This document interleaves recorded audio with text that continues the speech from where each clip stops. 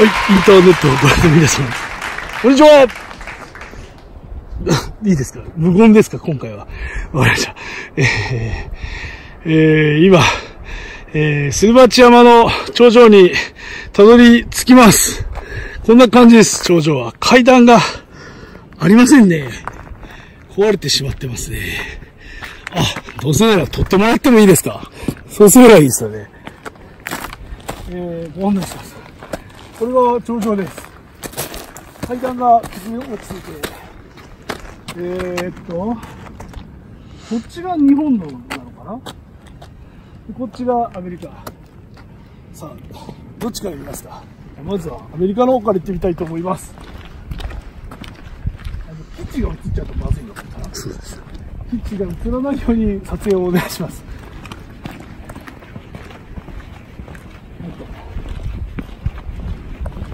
いろいろタグが置いてある。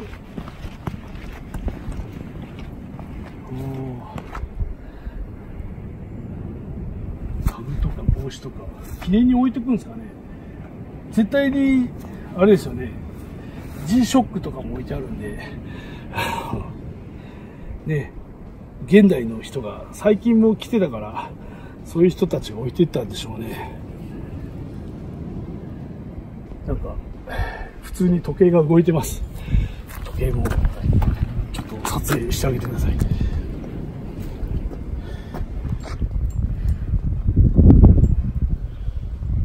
なんかタグが、鈴というか風鈴みたいになりますね。そして、これが、これ有名なシーンですね。映画とか写真アメリカの国旗の、ここに建てられちゃったんですね。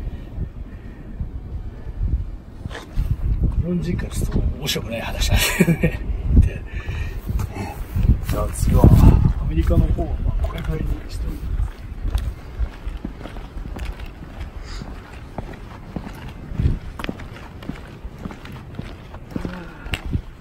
暑かったこれが記なんですかねあお線香も作次回お線香持ってきましょう。住んでるところからだいたい1時間半で徒歩で来れますね。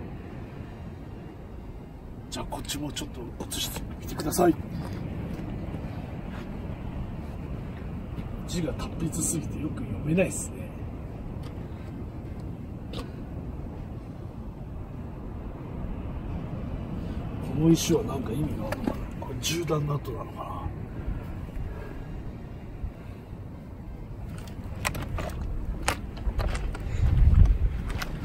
てこっちが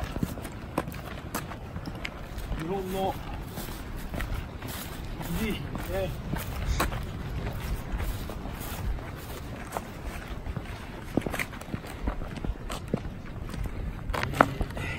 島でお前にするんだったら暑い中戦ってきた人たちのためにですね水をこうかけようかと。思っておりますかけますあのいろんな人に頼まれてですねぜひ水をあげてくださいということだったんでもう一歩あります結構ね大変ですそしてこっちですね。こっち小泉さんが助かりですね。小泉さんが助かり、家のやつ。いきます。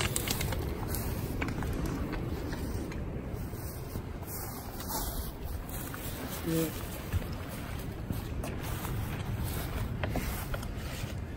じゃーん。これあの新馬さんっていう方がですねくれた国旗なんですけどもう一回あれですねアメリカの国旗をやられてなんとなくね日本人としては微妙な感じだったんですけど自分でここに日本の国旗をあげたらどうかなと思ったんであげるというか どうしたらいいですかね記念撮影でもしようかなと思ってます 島さん、島さんの旗持ってきましたよ。えー、この後写真を撮ってあげたってことで、えー、あと、あれですかね、南洋島とか見えますかねあ北洋島か。ここが北でしたっけ？ちょっと天気はいいんですけど、北硫黄島が見えないかな、ラストね。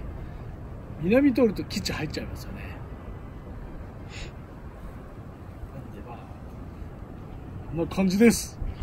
以上です後で記念撮影しましょうお疲れ様でした